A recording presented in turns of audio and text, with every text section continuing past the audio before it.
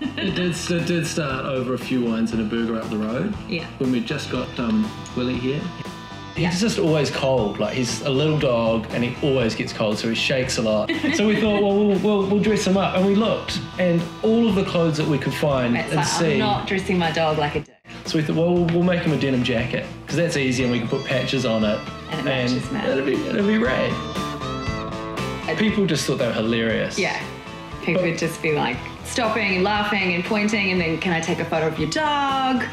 Yeah, it was crazy. Yeah. And so we just decided to just to, to make them and do like a little Etsy store and just make them at home and bam, there you go. Yeah.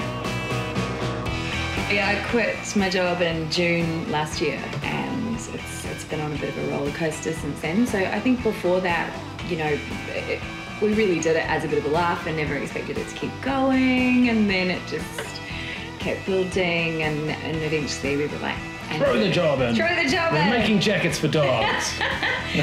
we're pretty much we want to be a denim brand for dogs essentially so kind of like streetwear styles bit of a rock edge that sort of thing we just want to stay true to stuff that we would wear like Yeah, we make stuff that we would wear we thought it would be you know mostly people really into metal music and stuff like that but you'd be surprised how many moms out there are, are you know closet closet rockers we managed to get one on um, fast eddie clarke from motorhead's dog he bought one unbeknownst to us which was pretty awesome It's pretty rad, yeah, yeah. that's pretty cool Is it growing?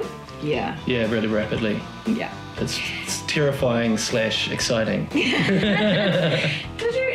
Did you ever imagine something like this would happen to you? you crazy Not in a million years, no. no but That's you know, what's so great about it. Like Yeah. it's so exciting. Like it's just con- constantly, it just gets more entertaining and more interesting as it as the business grows.